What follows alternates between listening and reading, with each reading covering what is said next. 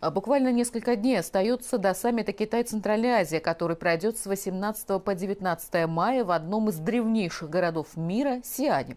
В городе завершают подготовку ко встрече гостей мероприятия. Улицы украшают в известных деловых районах и на туристических достопримечательностях работают светодиодные экраны с динамичными видеороликами и лозунгами саммита.